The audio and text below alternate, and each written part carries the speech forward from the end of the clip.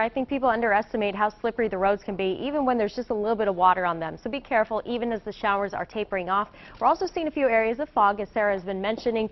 We're down to a mile and a quarter at uh, BWI, down below a mile of visibility in Westminster. So definitely some trouble spots out there. We've already heard of some delays along the eastern shore, including Wicomico County schools because of weather conditions. Right now, the temperatures are in the 50s, 59 downtown, 57 at the airport, Bel Air at 56 degrees.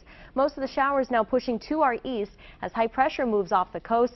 So in its place, we're just going to see dry weather tonight and tomorrow morning. But a cold front approaches by tomorrow evening. This will produce some showers and then really change our temperatures as we go into uh, the rest of the weekend. Temperatures this morning quickly warming up out of the 50s, climbing through the 60s 70 by the afternoon. A lot of clouds around this morning, but for the most part, we're almost done with the showers in Baltimore. They may linger just a couple more hours uh, for the eastern shore. But by tonight, all areas looking dry, mostly cloudy. We fall back into the upper 50s in most spots. Tomorrow, mid 70s.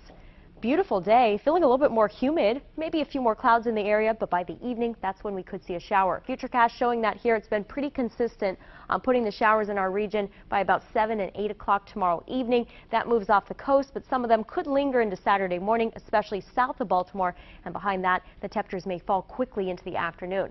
So your seven-day forecast, well, we're seeing a lot of those sevens on the map, at least for the next couple of days. But by Saturday, 62 for the high, and that could actually occur early on. We may see falling temperatures into Saturday afternoon as the breeze kicks up. Sunshine on Sunday, great for outdoor plans if you have a warm jacket, the high of 56.